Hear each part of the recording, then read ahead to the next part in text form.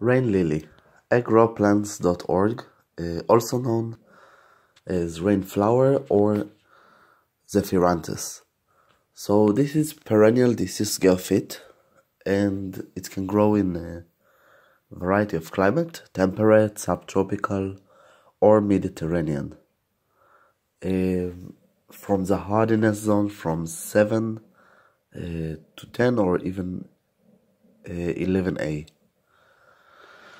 A flower start after the first rain. This is why it's called rain lily.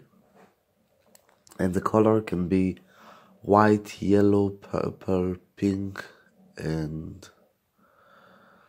require prefer well drained soil. It's it's quite of important the drainage of the soil. Uh, do not overwater. Average amount of water. This is what it's required.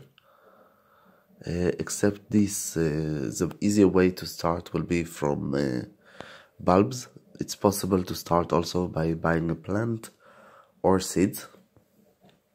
And um, except this, although it's grow in the winter, sometimes the the flowers a little bit suffering from the rain. So it's a kind of paradox.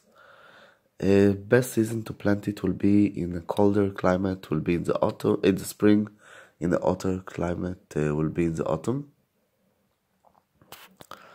Actually, it's uh, autumn. It can be the great time because this is the first rain in a year, and then you just plant it a little bit. Uh, let's say in the beginning, uh, September here, and then it's quite of uh, even at the end of August you can plant it.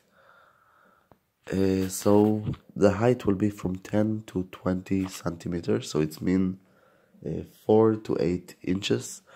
in the right condition, it's an average uh, growing, but if you start from seeds, it will be very slowly in the beginning.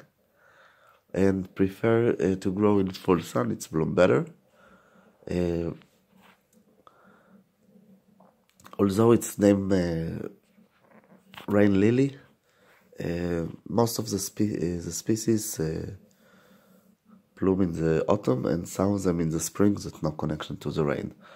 Uh, so that's all from growplants.org. Don't forget to subscribe, visit our website, and like this video. Hope you enjoy.